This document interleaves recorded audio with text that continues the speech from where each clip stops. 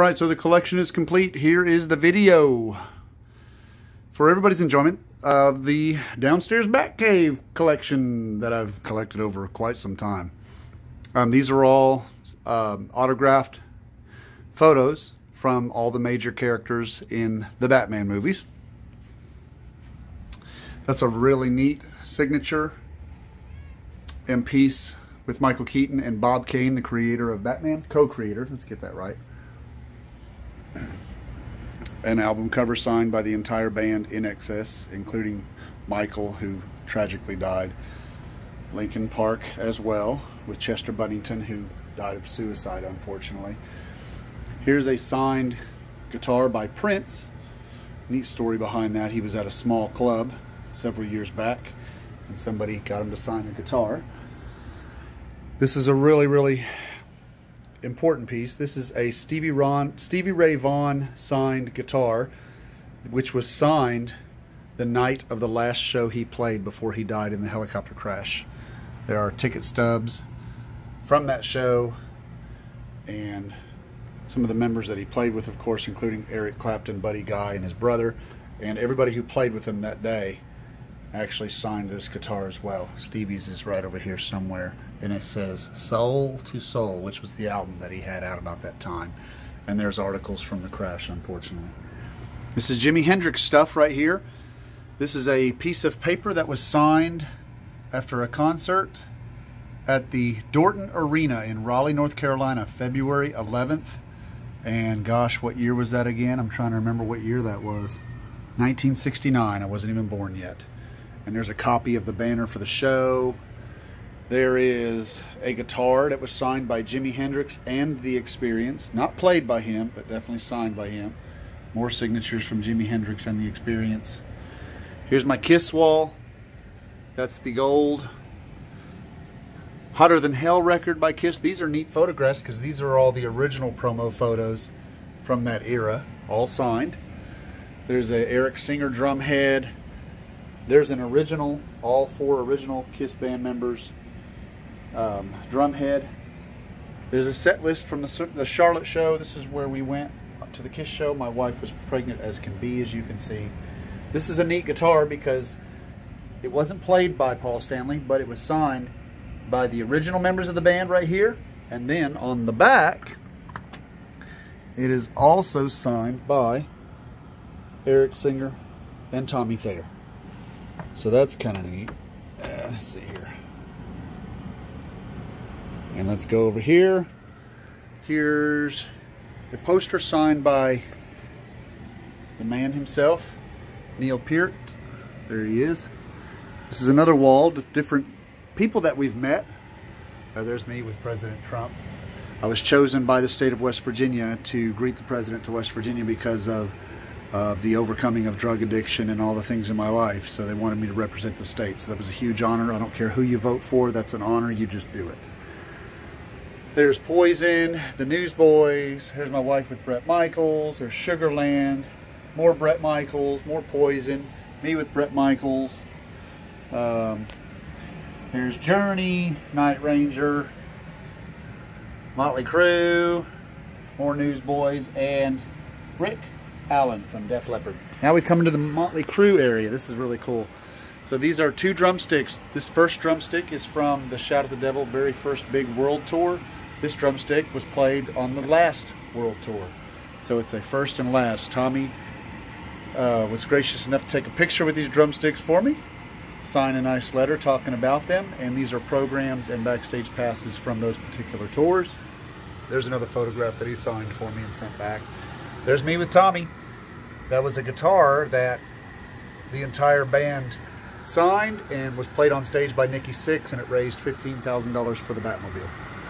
Here is a bass guitar played by Nikki Sixx. Blackbird bass played by him. There's pictures of him playing it during the 05-06 Red, White, and Crue at Carnival of Sins tour. There's the letter signed by him stating that he did. There's one of the limited all band signed Motley Crue jackets from the last tour. This is a neat piece. These are four lab coats from that album cover, Kickstart, the cassette album cover They wore those lab coats in the album cover, and Tommy signed his for me, and then Nikki signed his. There's a set list. This is another interesting piece. These are, yep, you know it, during the Dr. Feelgood tour, Tommy came out on stage and wore these crazy studded bikinis. He had a few pairs of them. This is probably one of, if there's any left, I don't know. These are letters from Terry King, who actually designed all their clothing for them at the time, stating, yep, these are legit. And this is a shirt that Tommy wore in a promo photo shoot right there. And that's the shirt. And here is the uh, conversation I had with Tommy when I asked him if I sent it to him, if he'd sign it. And he said, sure, man, just make it easy with return postage. So there we go. There's me with the band again. That was the last meet and greet that Tommy was doing with the entire band during that tour. Here's a Ratt drum head. Here's an Aerosmith drum head. Here's a Metallica cymbal. Here's a drumstick given by Lars to me and my road dog Todd when we went out to Kansas City to see them. And then there's the set list from that show. There's a nice birthday thing that he signed for me for my birthday. Here's a signed Foreigner guitar. Here is a signed original Van Halen members guitar. Here's a neat guitar. It was actually drawn on and signed by Guy Gilchrist, who is Jim Henson's right-hand man, animator with the Muppets. Here's a Warrant guitar, won at auction at the Gettysburg Battlefield Bash. Very thankful for that. Great cause to support. Love my peeps in Gettysburg. Here's another epic moment. This is my daughter with Steve Harris from Iron Maiden, where she met him just this past weekend at the Hard Rock Cafe in Nashville, Tennessee, the day before the show. This is a drum head that was won in an auction at the uh, VIP pre-show party that she got, signed by Nicko. This is an Aces high hat that somebody bought for her for her birthday because we were there celebrating her birthday. These are all wristbands from everybody except for Bruce Dickinson. I don't have his yet. There's Adrian, Janique, or Yannick and uh, Dave. And here's a, a, really cool guitar that I got. It is signed. It's kind of hard to see them because of the way that the ink colors are, but it's got all the different Eddies on it. It's signed by the whole band. Here's a set list, copy of a set list that was given. I'm giving the original set list to some good friends of ours that we met. And let's see what else. Where are we at now? There's an Ozzy Osbourne, one of my favorite songs. When I was coming home from Iraq, it was Mama, I'm Coming Home. Here is some really cool stuff. Brandon Lee signed. Brandon Lee signature, all from the Crow, of course. The Motley Crue Final Tour guitar. Us with the band again as Batman and Batgirl. That was good times. There's me with Bret Michaels. Met him at a club here in West Virginia where he played a show and got this guitar from him in an auction toward his juvenile diabetes camp. There's a Green Day guitar signed by Green Day bongos that were actually on Rikki Rockett's kit way back in the day. There's a signed Def Leppard autobiography book. A Rush signed Clockwork Angels poster. Two shirts out of the dryer from the Rush R30 tour. They gave them to us. Um, there is me on the Snakes and Arrows stage, and there is me with, you guessed it, Alex Lifeson and Geddy Lee from Rush. There's my backstage pass from that particular show. There's Sixx:A.M. There's Bon Jovi autograph. Bon Jovi autograph. My wife loves that.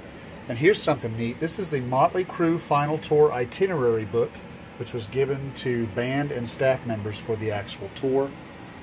So that's kind of neat. And I think we've got it all, guys. I hope you enjoyed it.